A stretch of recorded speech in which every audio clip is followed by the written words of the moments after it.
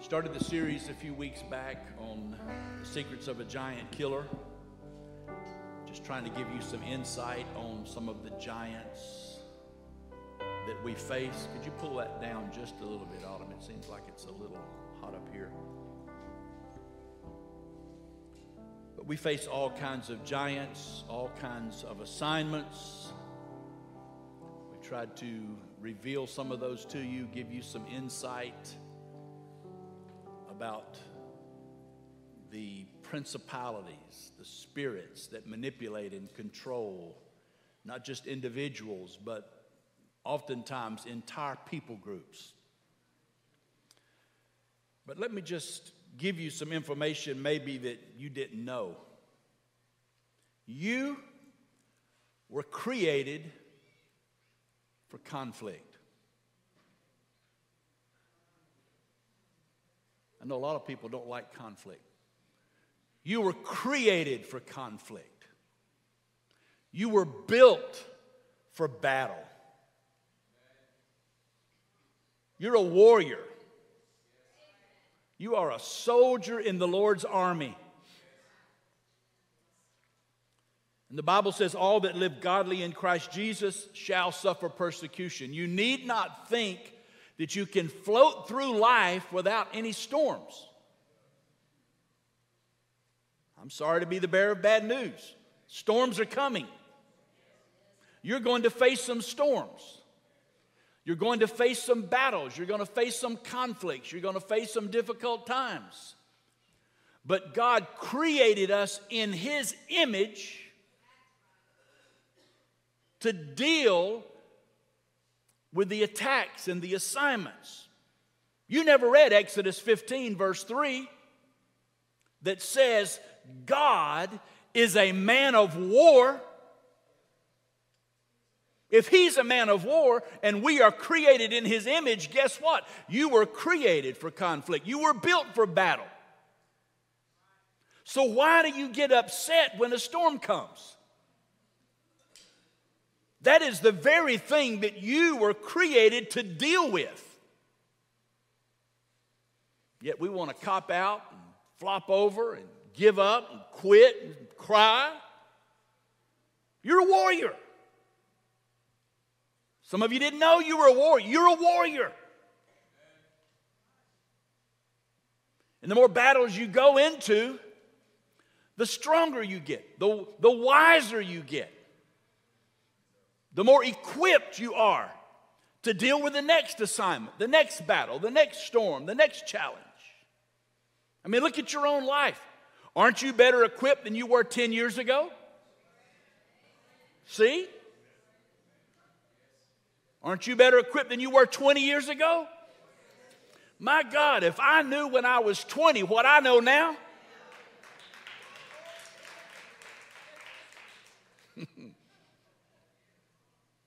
We're growing. We're overcoming. So don't back up when you see the storm, when you see the giant, when you see the battle. I did the series on eagles not long ago, and we brought an eagle in here and we taught you how eagles are. Eagles rise. They, they use the storm, the thermals, the currents to go higher and higher because the higher you go, the better vision you have, the better insight, the better perspective. And the, the higher you go, the smaller your problems are. Yet we want to just cry and quit and whine. Do something about it. You're built for battle. Kill the giant. defeat the giant. Slay the giant. Don't let him keep working you over. Get back up. Sometimes the best thing you can do is just stand back up and say, I'm back. Should have killed me when you had the chance. I'm back. Sometimes when you just do that and then just shout, Jesus, demons tremble at the name of Jesus. So I'm going to introduce a giant to you today. that you all know. You may not have known that you know, but before I get through, you're going to know this giant. Now, David defeated Goliath. A cycle was broken, a 40 day cycle when David went out and dealt with him. And could I tell you that assignments are meant to be broken? Giants are meant to be killed? They're meant to be defeated. And after, after David killed Goliath, then Sibbecaiah defeated Saph. Saph was called who? He's right over here. The threshold giant. Ben, come help me. Come be Saph for me. Come stand here and be that big baby face giant. See, they try to grow a little thing like that to camouflage you, but he's still a baby. And Saph stands at the threshold when you're over here trying to go to your new season, to your new place. He stands there to stop you and says, No, you're not going. And at the first sign of the assignment, of the attack, of the giant, of the storm, we, we just give up, we quit. When the truth is, God wants us to go to the next season. And then, Stephen, come help me. Stephen's going to be you. Hurry, run up here, run up here. You're taking my preaching time. All right, this is you. This is Stephen. He's married to Rita. I'm Stephen. I'm married to Rita. Can you believe that? So, this is you. And you've just killed Goliath. Goliath is down. A cycle has been broken. And God has spoken to you and said, okay, I want you to go into ministry. I want you to start a business. I want you to go to a new place, a new season, a new relationship. Whatever it is, it's a new season in your life because life is a collection of seasons. So it's time to go to a new season. You've just killed Goliath and you start going to your new season, you're excited, you've got all these plans, everything is good, and you start to go and you, you encounter Saph. But understand, David, David imparted the anointing to kill giants to his servants. He didn't keep it to himself. He was not the only giant killer. And that's why Faith comes by hearing and hear by the word of God, but also faith can be imparted to you. When you get around faith people, it will build your faith. When you see somebody else can kill a giant, then you can kill your giant. And when somebody sees you kill your giant, it encourages them, they can kill their giant. So, God sends another servant, one of David's servants. He sends Sibbecai, whose name means one who is like a corpse, one who is like a dead man, to kill Saph. So he kills Saph. Saph goes down. Go down, Saph. And so you cross the threshold and you go to your next season. You left Saph back there. And now you're out here, you're you are excited, you've crossed the threshold, you've killed giants, things are going your way. And guess what? You encounter another giant. Caleb, come help me. You encounter Lahmi. Lahmi, he's not babyface Nelson over here. Lahmi is more experienced. He is an experienced war, uh, warrior. And he comes to kill, steal, and to destroy all that you have. He wants to take your joy. He wants to take your finances. He wants to take your resources. He wants to take your relationships. He wants to keep you broke, busted, and disgusted, as they say.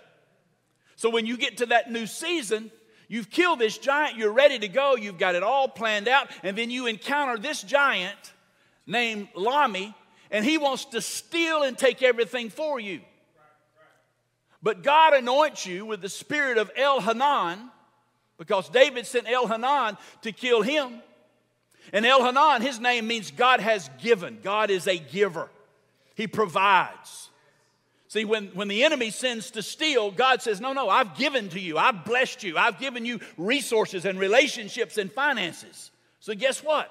that anointing comes on you, and you deal with that assignment, you deal with that giant, and Lahmi goes down. Go down, Lahmi. Are you getting the picture?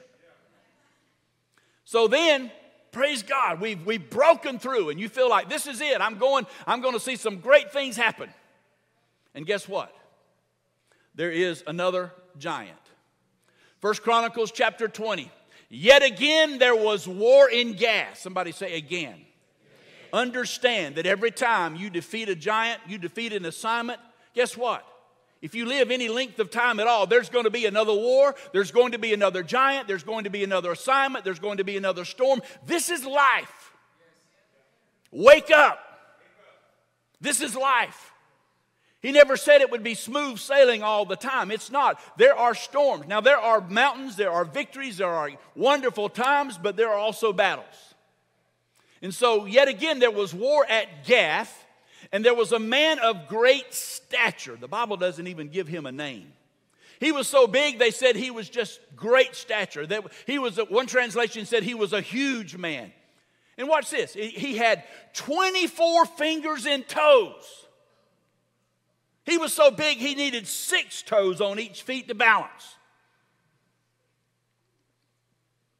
His sword was so big, his spear was so big, he needed six fingers on each hand to hold it. He was the big boy. He was a monster. He was a warrior. He was experienced. No doubt he was older. Theo, come help me.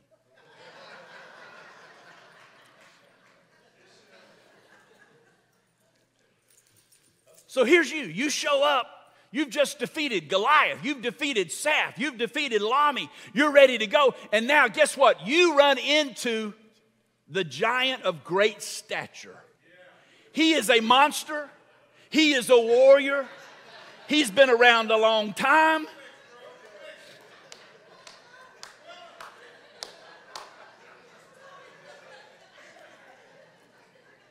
You don't want to miss this.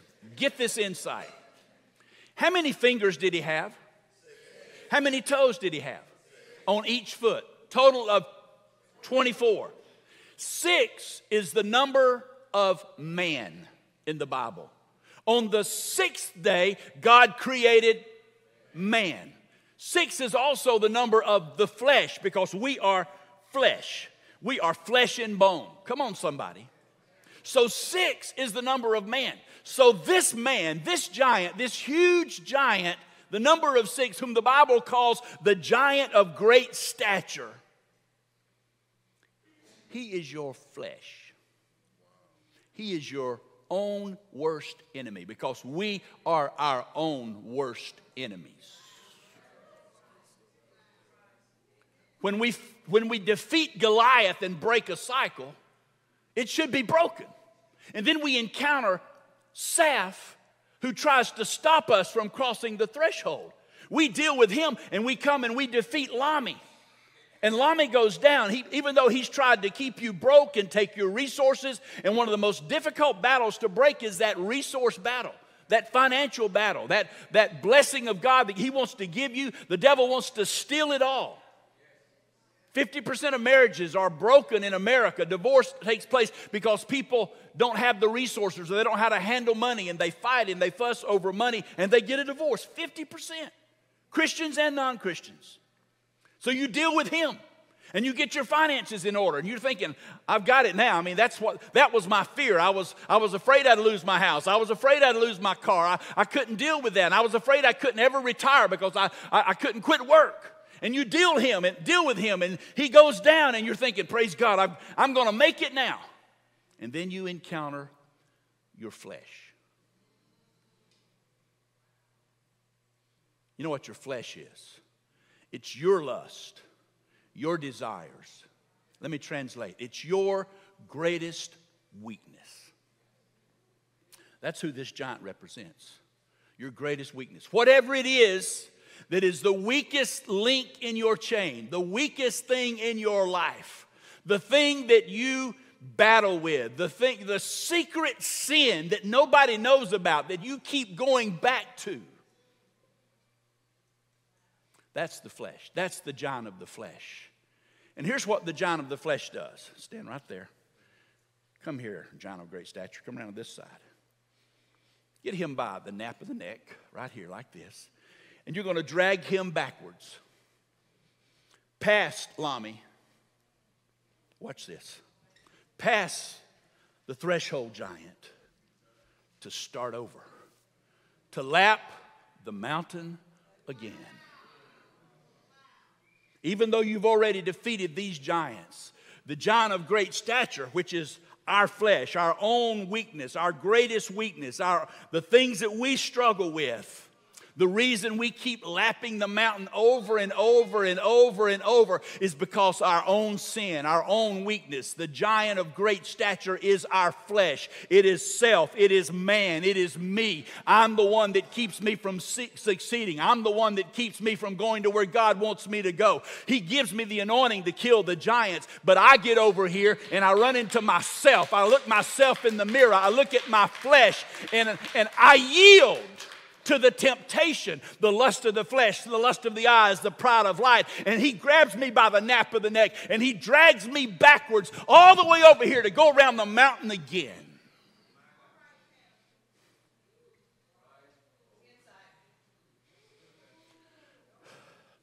This John of great stature, he was from Gath also, which, as you know, means to crush, to tread on. He had six fingers on each hand, six toes on each feet, on each foot. Sorry.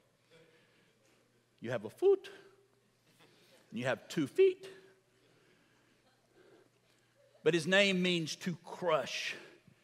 And his agenda, his assignment, is to crush your flesh, to go to where your weakness is. What is your weakness? I don't know what your weakness is. I don't know what your secret sin is. I don't know what your battle is.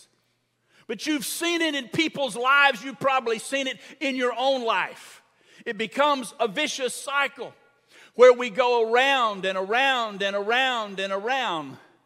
Now, watch this. First John chapter 2 talks about the lust of the flesh, the lust of the eyes, and the pride of life. Let's look at it. In First John 2, say right there, coming back to you. For the world offers only a craving for physical pleasure, lust of the flesh. Satisfy the flesh. Your body says, I don't care what anybody says, do it. If it feels good, do it. If you want to drink it, drink it. If you want to put it into your veins, put it in your veins. If you want to pop the pill, pop the pill. If you want to have a relationship with somebody, doesn't matter if it's a man or a woman or whoever it is, or a trio or a quartet or an orgy or whatever you want to, just do it. If it feels good, do it. It's okay. Not what the Bible says. That's what your flesh says. Your flesh says, It feels good. I'm going to do it. I'm going to go. I'm going to enjoy. I'm going to enjoy life. You only go around once, so I'm going to live fast, die young, and leave a good looking corpse. And that's some people's philosophy. For the world offers only a craving for physical pleasure. Number one, lust of the flesh. Also, a craving for everything we see, lust of the eyes. It looks good to us. We think, I'll take it, I'll buy it, I'll have it. And these, these spirits work together sometime, if you didn't know that. They work together.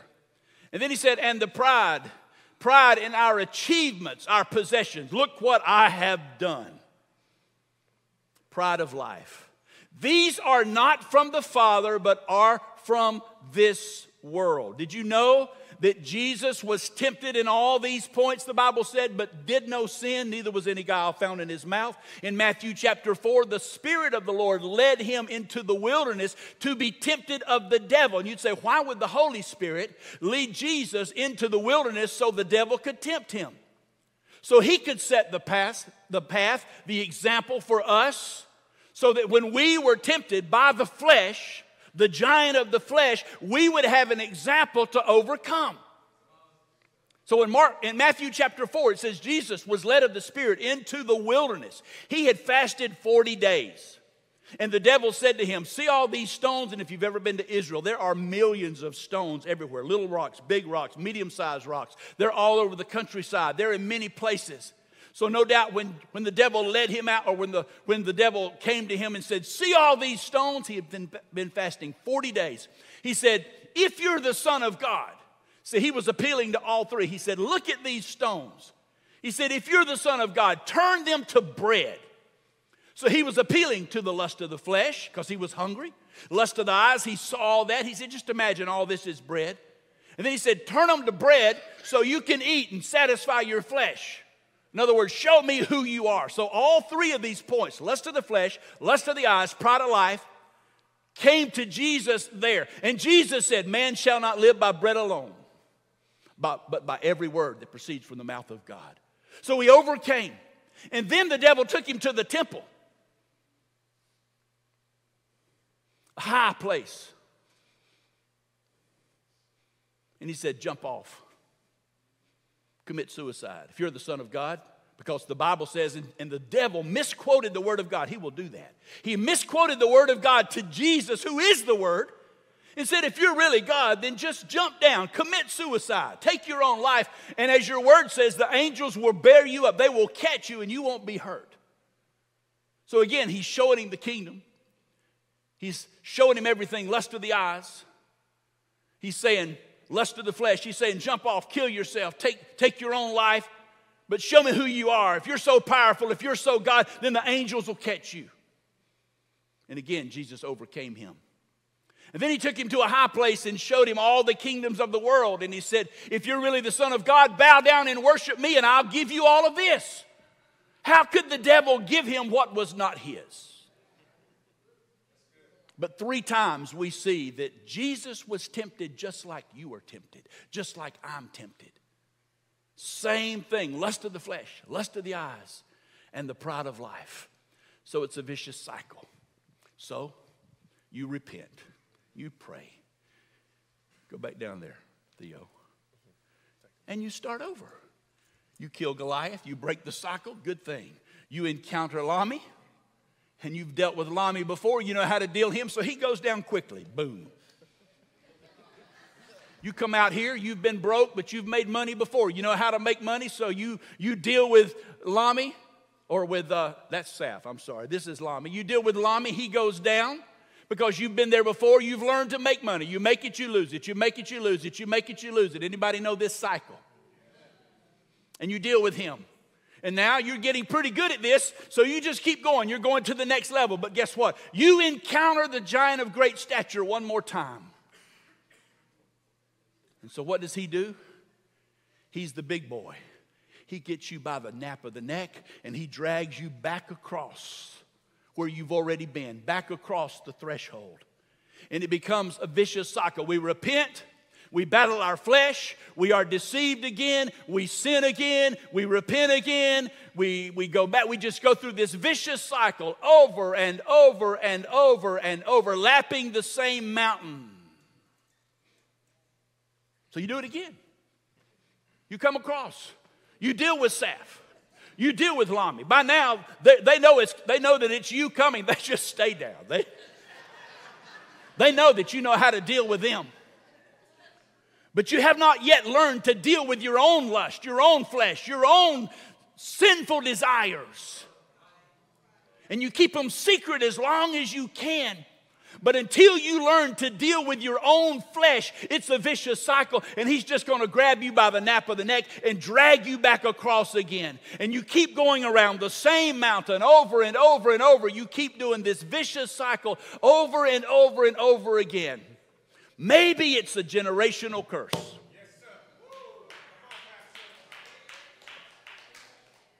But generational curses are made to be broken.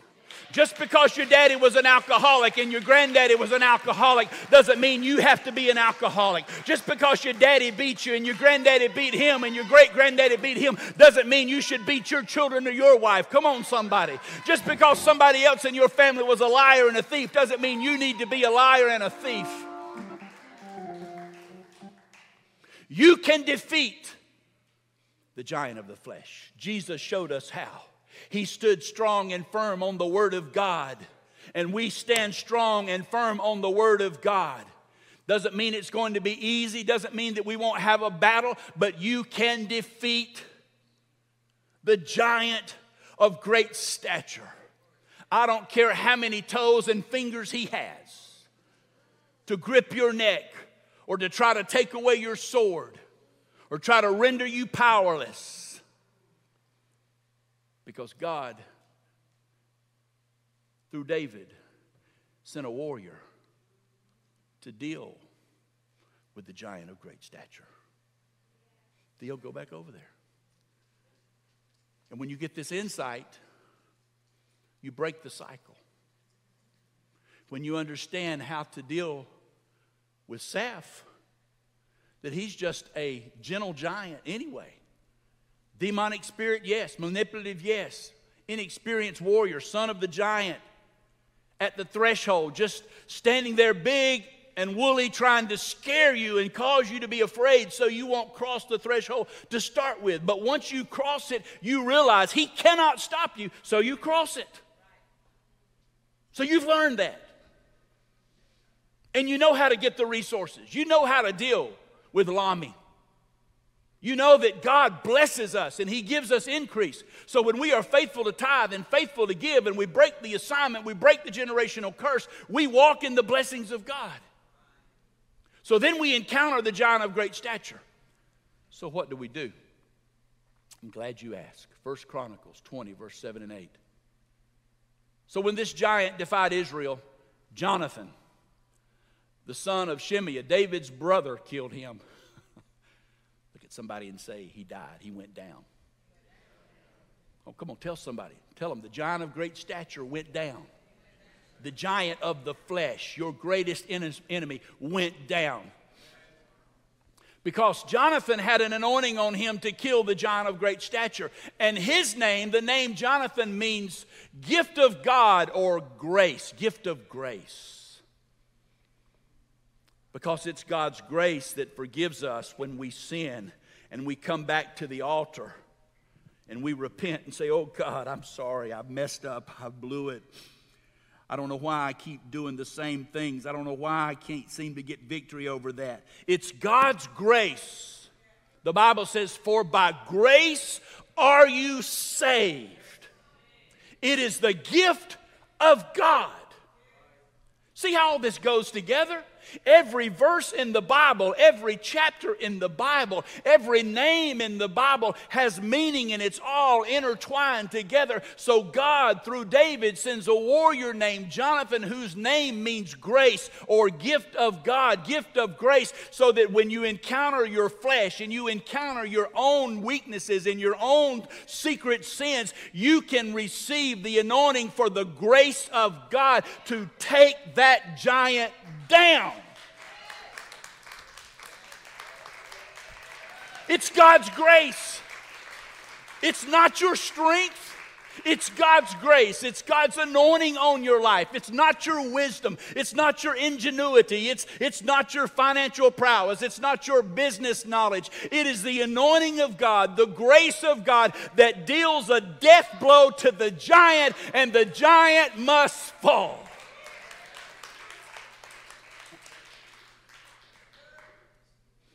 God's grace and gift of mercy in your life will defeat even the biggest giant. Does that help anybody? I don't care how big he is. I don't care how many times you've lapped the mountain. Israel lapped the mountain in the wilderness for 40 years, but guess what? They came out. They crossed over. They went to the promised land. 40 is the number of testing, and for 40 years they, they, they circled the mountain. They lapped the mountain in the wilderness. 40 years, what could have been done in 16 days. They could have gone from Egypt to the promised land in 16 days if they had just gone and obeyed God. But they got out in the wilderness. They dealt with the giants. They dealt with their own flesh, their own sins, their own weakness. 40 years. 40 number of testing. But after 40 years, after 40 years, don't wait 40 years. The light came on. They crossed over the promised land. 41 is the number of breakthrough. 40 is the number of testing. 41 is the number of breakthrough. They broke through. They went into the promised land. They killed even the biggest giant. you can defeat every giant. 2 Corinthians 5, two verses, 17 and 21. When you get home, read the whole passage, but let me just key in on this. When anyone is in Christ, it is a whole new world. That doesn't sound like same cycle, same mountain. When you become a Christian, when anyone is in Christ, it is a whole new world. Let me just stop there and say the assignments can be broken at the bloodline. They can. You have to believe that. And you can't keep going back. You can't keep looking back over your shoulder, longing for that flesh to satisfy your flesh. Jesus will satisfy your flesh. Jesus will fulfill the empty spots, the void in your life. But we must look to Jesus. It is a whole new world. The old things are gone. Gone. Don't invite them back. Don't invite your demons back. Don't go visit the places your demons live.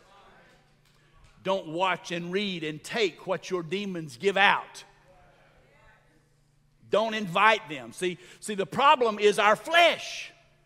It's when we get victory, we, we want the flesh.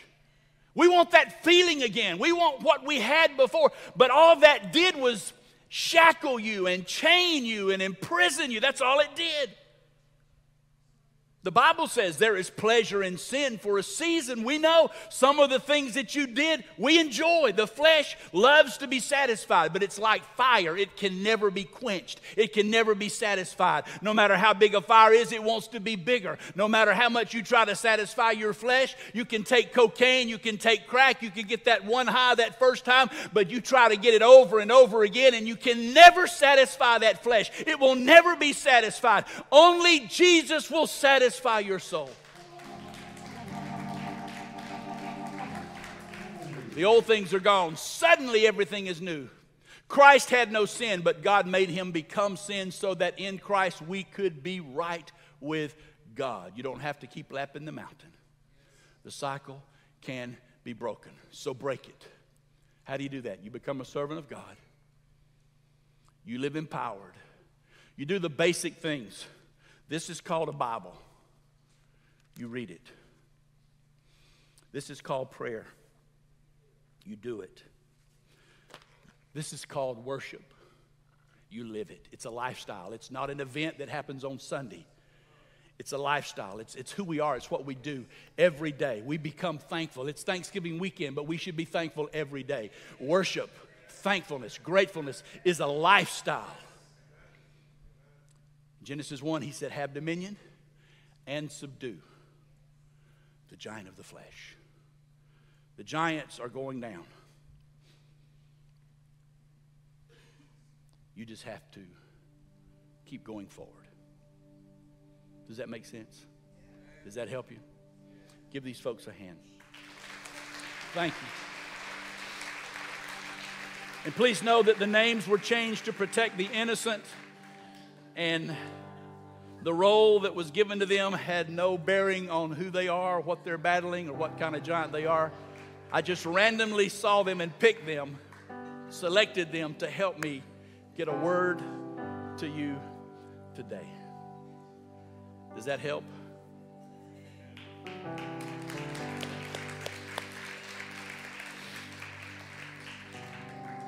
We make it so hard. It's not as hard as we make it. Jesus loves me, this I know, for the Bible tells me so. For God so loved the world so much that he gave his only one Son, Jesus, that whoever would believe in him would not perish, but have everlasting life. And Jesus left heaven and came to this earth and became sin so that we, through his sin, might be free or right with God. Everything that we're in, folks, it's a spiritual battle, it's a spiritual war zone. We're in a war zone. And if you just if you just nonchalantly float through life, even if you go to church, even if you came here, even if you got saved, if you don't wake up and realize we're in a battle, there is a battle going on, there is a war going on here. And it's not against flesh and blood, the Bible says. We war against principalities and powers spiritual wickedness in high places. And we need every tool that God has for us to be victorious. We need to be full of the Holy Spirit, baptized in the Holy Spirit. John 4 24 says, God is a spirit, and they that worship him worship in spirit and in truth. So when you get saved, the Spirit of God comes in you and you receive the Spirit of God. But the baptism of the Holy Spirit is a different encounter. In Acts chapter 19, the Apostle Paul said to the disciples there, Have you received the Holy Spirit since you believed? Indicating it was a different experience from the salvation they received when they believed. He said, Have you received the Holy Spirit since you believed? He knew that they received the Spirit of God, John 4 24, when they believed. The Spirit of God comes into you. When you repent, the Holy Spirit comes into your life. But the baptism of the Holy Spirit that he was talking about in Acts chapter 19 and five other times in the book of Acts was an infilling, a baptism. It was like being baptized in a pool of water. When you are baptized in water, you are the candidate for baptism. Somebody, a minister or somebody, baptizes you. You submit to them and they take you under the water, they baptize you and bring you back up. When you are baptized in the Holy Spirit, you're the candidate. You submit to Him, and He submerges you in His Spirit. He saturates you in His Spirit. And the Bible also teaches that when that experience takes place, three out of five times in the book of Acts, they spoke in another language, an unknown language. Glossolalia was the, the original word there, it was other tongues. Sometimes when people speak in other tongues, it's a, it's a known language. It's been translated. Sometimes it's an unknown. It's just a heavenly language only between you and God. But we need every tool, every weapon we can to overcome the enemies that we encounter the giants, the assignments, the storms, the challenges because they're going to come. And the older we get and the wiser we get and the more faith we have, guess what? Every level, there's another devil. You cross the threshold, you deal with Goliath, you, you deal with Saph, you deal with Lahmi. You deal with a giant of great stature, the flesh. He's the one that wants to keep dragging you back. But every time you go to another level in God, there's going to be another storm, another challenge, another assignment coming against you. But you get stronger each time. So don't be surprised when the storm comes. When you step to the next level, just be ready. The Bible says, Be sober, be vigilant, because your adversary, the devil, is a roaring lion, seeks whom he may devour. But you need to be awake, be alert, be ready, and know he's coming. And when he comes, through the power of the Holy Spirit, the anointing that you have, deal with him. The giant's going down, the devil's going down. I'm going to show you in this. If you don't have this book, where'd it go? There it is. If you don't have this book, you need to get it because it gives you the insight. You'll know where I'm going the next, the next week, the next couple Sundays. You need to get it. Next week, we're going to talk about Ishbi Benob. You don't want to miss it. And then the next week, there's another one. It's the devil's secret weapon. You don't want to miss it. Two weeks. Father, we need you. We need your insight. We need your revelation overcome every assignment, every giant, every demon, every storm, every challenge, every generational curse. But Lord, we know that when you fill our heart with your love, with your power, with your Holy Spirit, we know that what is in us, greater is He, you, that are in us than He that is in the world, the giants, the assignments that we face. So, Father, today we trust you. We call on you for that anointing. We ask you to help us once and for all to crucify the giant of the flesh. We learn to deal with the other ones, but the giant of the flesh knows our weaknesses. He knows what we struggle with. And He comes when we least expect and tries to take us down and to take us out. So, Father, I pray right now for the anointing of Jonathan, the grace of the Holy Spirit, the grace of God that you give to us, the gift of grace that covers our sins, that covers our sins of the flesh. I pray for that anointing and that grace to touch everyone in this room and those under the sound of my voice now in Jesus' name. We pray for the anointing of Jonathan, that spirit of anointing that was on him. We pray for it now. Saturate us, fill this room, baptize us with that anointing to overcome the giant of the flesh, the giant of great stature. Anoint us now in Jesus' name. We receive that anointing, we receive it now. We walk in it now. We, we allow you, God, to touch us and fill us and saturate us with that anointing. And the next time we face that temptation, the lust of the flesh, to the lust of the eyes, the pride of life, Lord, we cast it down and we let that anointing rise in us to keep that devil down, to keep that giant defeated in Jesus' name. Thank you, Lord. Thank you, Jesus. Know it's late, but if you're dealing with that John of the flesh, run down here right now. I just want to pray for you. If you're dealing with it, you've got to overcome it. Come on right now. Come on quickly. Come on, lift your hands.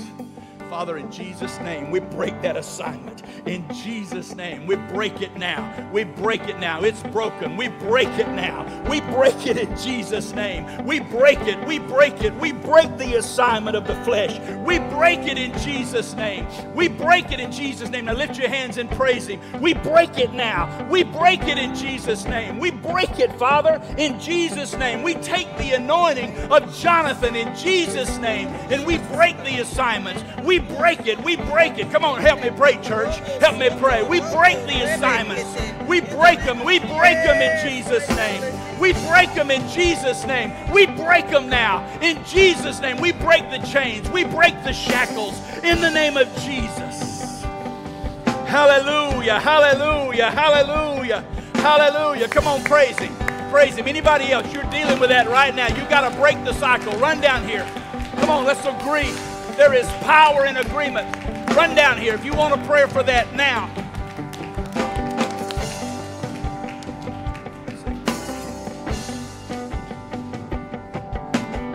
stand with me. Oh, Let's oh God, worship. the glory is Let's yours. just stand with me. The Let's just kingdom worship is Him. come and the battle is over. Jesus, in your name we rise. The glory Thank is you, Lord. It's yours. done. The glory broken. is yours. It's broken. Oh God, the It's glory broken. is yours. It's the kingdom broken. is come and the battle broken. is over. It's broken. Jesus, in your name Shout we It's rise. broken. The glory is Shout it. It's yours. broken. The glory is It's yours. broken. Oh God, the glory is yours. cycle is kingdom is broken. come and the battle It's is broken. over. Jesus, in your name we rise. The glory is yours. The glory is yours. Oh God, the glory is yours. The kingdom is come and the battle is over. Jesus, in your name we rise. The glory is yours. The glory is yours. Yes. Oh God, the glory is yours. The kingdom is come and the battle is over. Jesus, in your name we rise. The glory is yours. The glory is yours.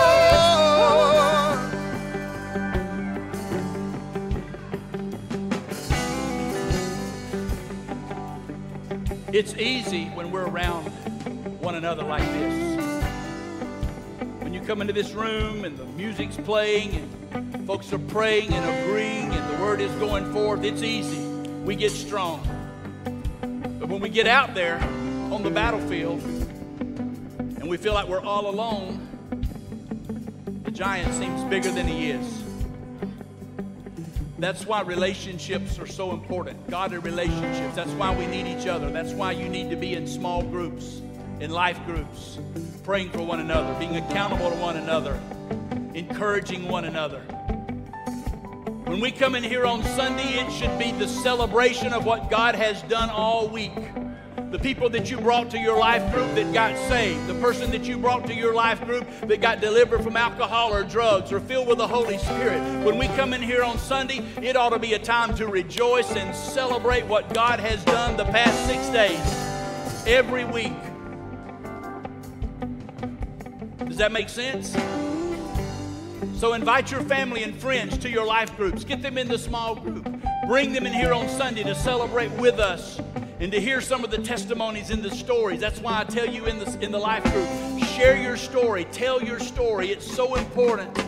People need to hear your story, they need to hear what God did for you. Because if I hear what God did for you, Steve, I know that God can do it for me. I, I believe it, it, builds my faith. If, if I hear what God does for you, I know God can do it for me. David, if, if I hear what God does for you, I know He can do it for me. Tony, if I if I hear what God did for you, I know He can do it for me. If you hear what God did for me, then you can believe He will do it for you. Does that make sense? We need one another. We're in the battle of the century, the battle of the millennium. Things are winding down. So don't just float through life. Don't take it for granted. Gear up. Put on your battle gear. Equip yourself in the Word of God. And let's take some folks to heaven with us. Let's defeat some giants. Let's defeat some demonic strongholds. Let's break them together because we are better together. We are better together. We need each other. Look at what God has done in this house. Look at look at the diversity. Look at the gifts and the talents. There's so much in this room. We need each other. Connect with one another. Help me fill this place next Sunday to hear about the next giant. You don't want to miss it.